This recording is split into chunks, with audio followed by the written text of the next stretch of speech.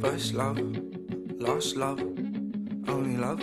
is only love. Mi nombre es Itzueka Viedes Solís, yo soy bióloga, estudié la maestría en la Facultad de Ciencias y actualmente estoy haciendo el doctorado en la Universidad de Washington en Seattle, Estados Unidos.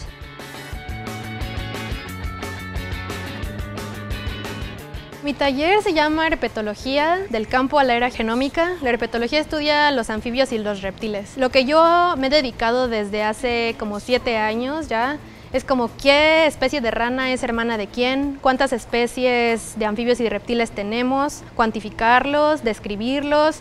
Y muchas personas dicen así como, ay, pero eso para qué te sirve, no sirve de nada, ¿no? Pero en realidad yo creo que es muy importante porque sirve para estudios de conservación, para aplicarlo después a otras situaciones. Se ven súper entusiasmados. La verdad es que yo estaba medio nerviosa porque no sabía cómo iban a reaccionar o si les iba a interesar o... Justo una de mis estudiantes me estaba comentando que un estudiante de otro taller le dijo, ay, pero eso de los bichos, ¿eso qué? ¿No?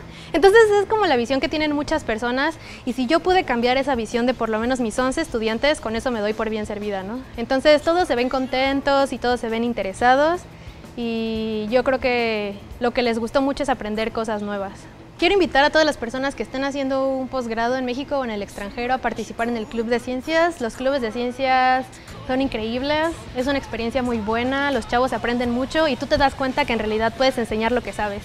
Y a los estudiantes les hago una invitación porque es divertido y si de verdad te gusta la ciencia es una muy buena manera de aprender y tener contacto con estudiantes del posgrado que tienen muchas experiencias que contarte y ya recorrieron un camino y no solo pueden enseñarte lo que saben, sino que pueden guiarte para seguir el mismo camino y pueden ayudarte con ah, consejos, pueden, no sé, abrirte los ojos de una manera increíble. Yo soy Itzueka Viedes, quiero agradecerle a Pepe Franco por ser patrocinador de los clubes de ciencia.